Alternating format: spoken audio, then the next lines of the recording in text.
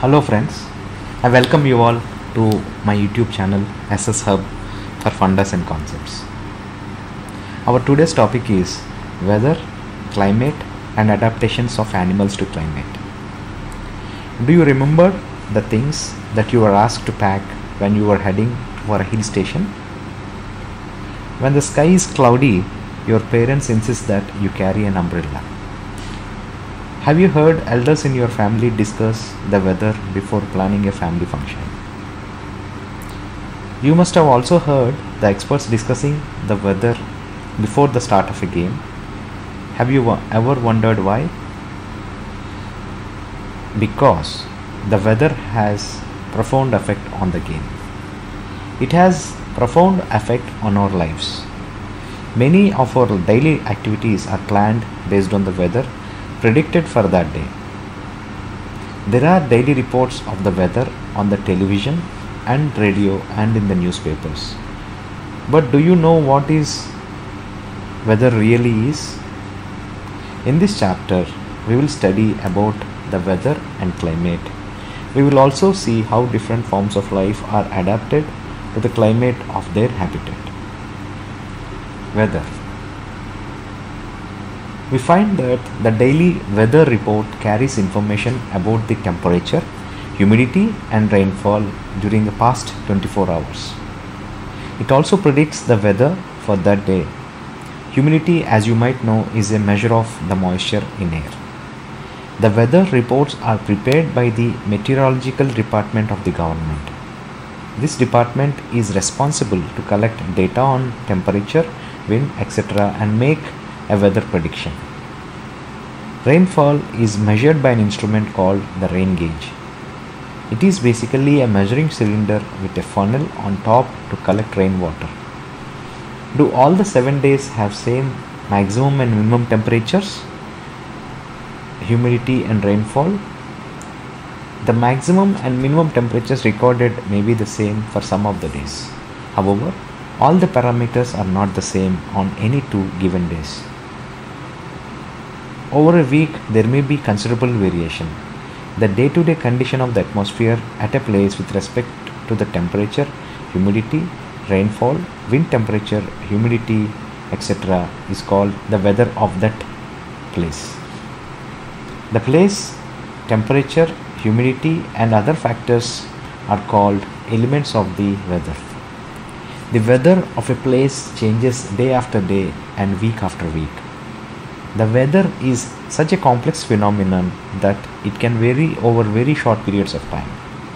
It can happen sometimes that it is sunny in the morning, but suddenly clouds appear from nowhere and it starts raining heavily. Or a rain may vanish in matter of minutes and give way to bright sunshine. The maximum temperature of a day occurs generally in the afternoon, while the minimum temperature occurs generally in the early morning. So you can now understand that why in summers we feel so miserable in the afternoon and comparatively comfortable early in the morning. What about the times of sunrise and sunset? You know that in winters it becomes dark early and you do not get much time to play. Are the days shorter in winter than in summer? Try to find it by yourself by completing an exercise by observing the day in a winter and a summer. Climate Meteorologists record the weather every day. The records of weather have been preserved for the past several decades. These help us to determine the weather pattern at a place. The average weather pattern takes over a long time, say 25 years. It, is called climate of the place.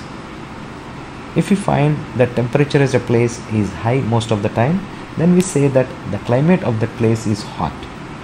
If there is also heavy rainfall on most of the days in the same place, then we can say that the climate of that place is hot and wet. Climate and adaptation. Climate has a profound effect on all living organisms. Animals are adapted to survive in the conditions in which they live. Animals living in very cold and hot climate must possess special features to protect themselves against the extreme cold or heat. Features and habits that help animals to adapt to their surroundings are a result of the process of evolution. In the coming chapters, you will learn about the effect of weather and climate on soil. But in this chapter, we will study the effect of climate on animals only. Previously, you have read about adaptations of animals to certain habitats. As examples of adaptation of animals to climatic conditions, we discuss only animals living in polar regions and tropical rainforests. As the name suggests, the polar regions are situated near the poles, that is, North Pole and South Pole. Some well known countries that belong to the polar regions are Canada, Greenland, Iceland, Norway, Sweden, Finland, Alaska in USA, and Siberian region of Russia.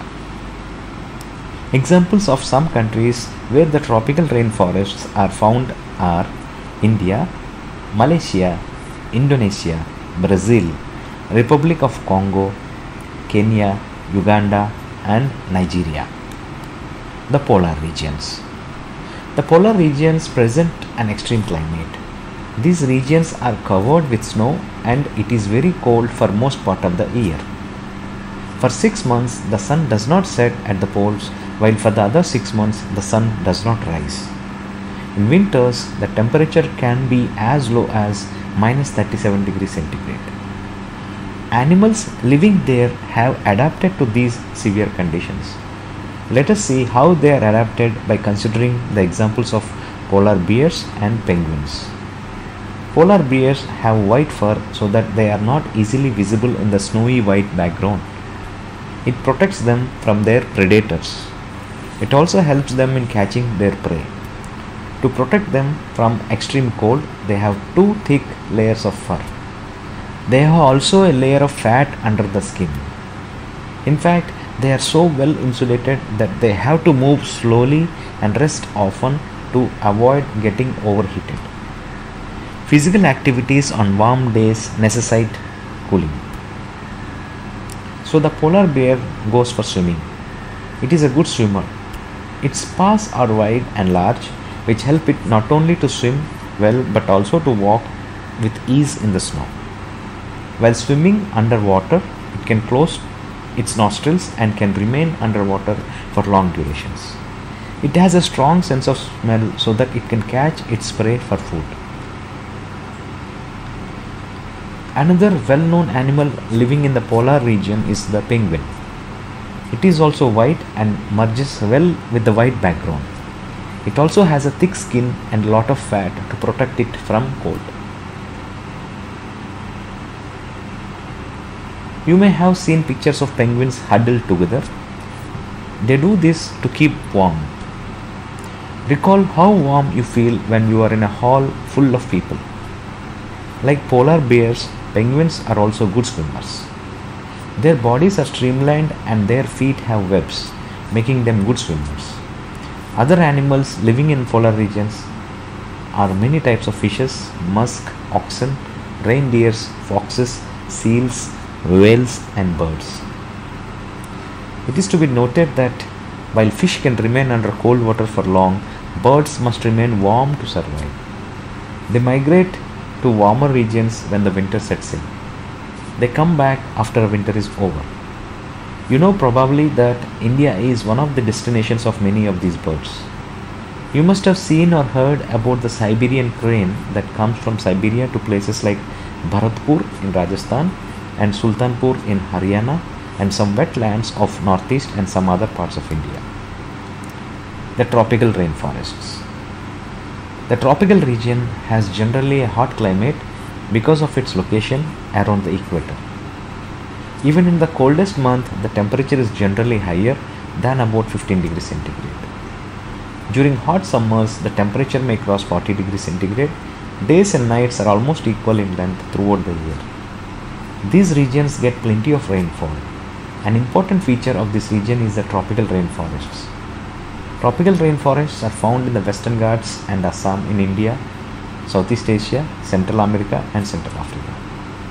Because of its continuous warmth and rain, the region supports wide variety of plants and animals.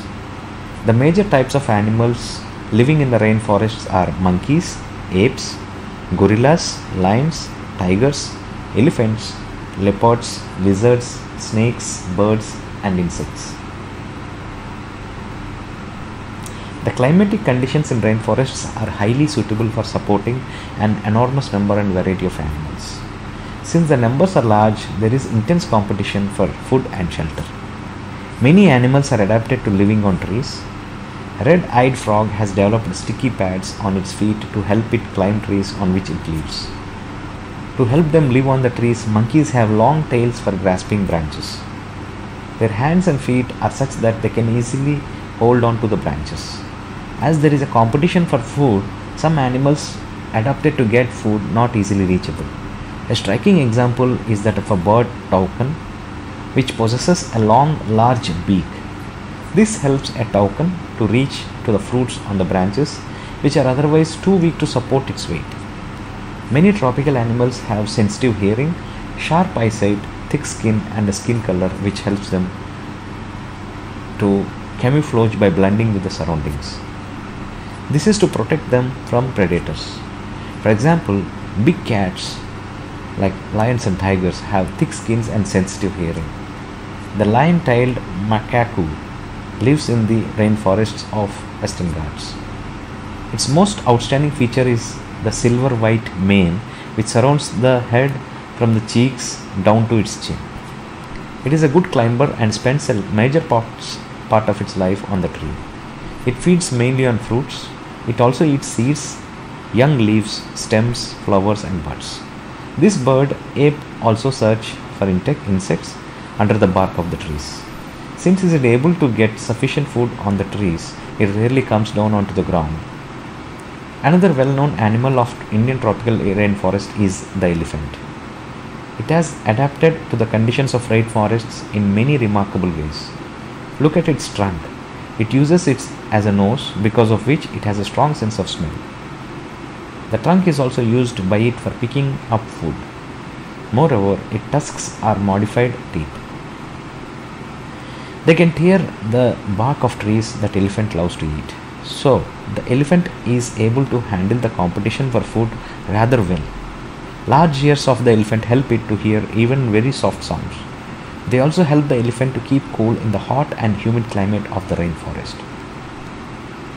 Interesting facts. Some migratory birds travel as much as 15,000 kilometers to escape the extreme climatic conditions at home. Generally, they fly high where the wind flow is helpful and the cold conditions allow them to disperse the heat generated by their flight muscles. But how these birds travel to the same place year after year is still a mystery.